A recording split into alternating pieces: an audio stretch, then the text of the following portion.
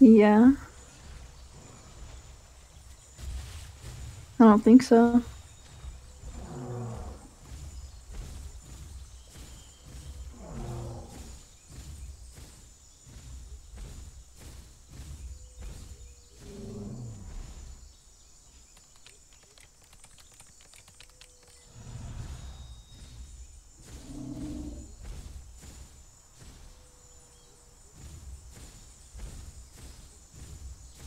Just let him get close. You'll turn around and hit that bitch.